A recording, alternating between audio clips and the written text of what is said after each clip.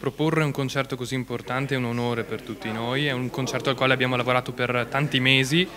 eh, ovviamente siamo riusciti con l'aiuto anche del Teatro del Maggio Musicale Fiorentino a proporre questo evento meraviglioso alla città con un'orchestra fantastica e con uno dei più importanti direttori della storia, per cui deve essere un orgoglio anche per la città avere un concerto del genere, che vuole essere non un concerto singolo ma l'inizio di un percorso di altissimo livello musicale che verrà proposto lungo tutta la stagione. E ovviamente il Teatro del Maggio musicale con la sua orchestra e con Zubin Mete è stata una delle prime idee, anzi la prima idea che abbiamo avuto, per cui ci abbiamo lavorato, siamo riusciti ad organizzare questo evento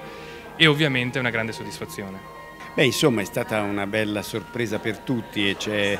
è il coronamento di un lavoro importante svolto dalla Fondazione, svolto dal Presidente, svolto dal direttore artistico, svolto dal direttore Cinatti, con un contributo fondamentale da parte della Fondazione Cassa di Risparmio di Firenze che ci vuole bene e che sta lavorando secondo me correttamente per l'allargamento dei tesori fiorentini anche ad altre realtà municipali della Toscana. Quindi tutto questo eh, ha confluito nell'apertura nell di stagione al nuovo auditorium con la creazione di Haydn prodotta dal Maggio Musicale Fiorentino diretta da Meta, quindi uno spettacolo sicuramente di altissimo livello che immagino e spero piacerà a tutti gli aretini e non aretini che avranno la possibilità di venire a, ad ascoltarlo. Dico avranno la possibilità perché stiamo andando verso il sold out, quindi chi veramente vuole un biglietto bisogna che si affretti a cercarlo. Saranno circa 500 i posti.